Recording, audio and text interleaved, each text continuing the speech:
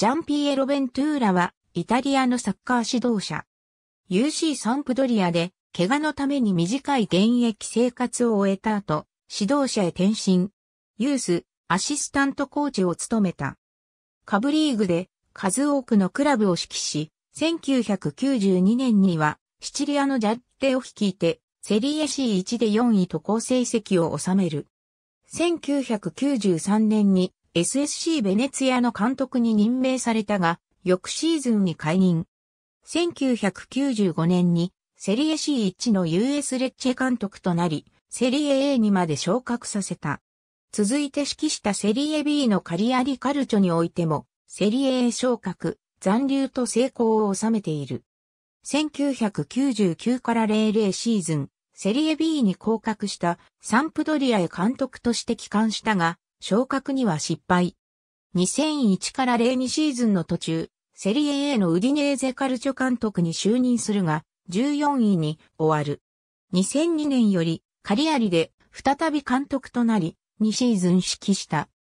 2004から05シーズン、セリエ C1 の SSC ナポリ監督に就任するが、成績不振で解任され、エドアルド・レアが公認の座についている。2005から06シーズン、セリエ A の FC メッシーナ監督に就任したものの、降格となった。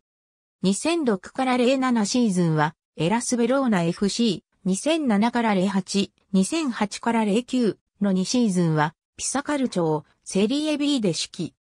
2009から10シーズン、セリエ A に昇格した AS バーリ監督に就任し、レオナルド・ボヌッチ、アンドレア・ラノッキアのセンターバックコンビが成長するなど躍進を見せた。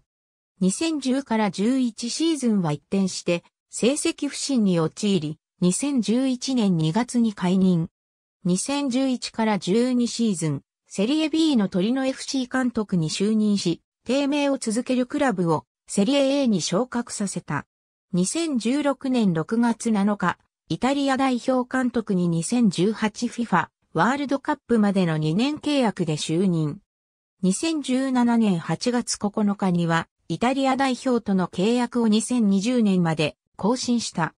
2018W 杯欧州予選では、スペインと同じグループに入り、2位でプレーオフに進出。プレーオフでスウェーデンと対戦が決定。ファーストレグはアウェーにて1から0で敗れ、セカンドレグでもホームで0から0のスコアレスドローに終わり予選敗退。イタリア代表は W 杯連続出場記録が15回で、途切れ60年ぶりに W 杯出場を逃すこととなった。11月15日、イタリアサッカー協会から代表監督の解任が発表された。2018年10月10日、AC キエーボ・ベローナの監督に就任した。11月13日、キエーボと双方合意の上で契約を解除した。2019年6月30日、セリエ B の US サレルニターナ1919の監督の座についた。ありがとうございます。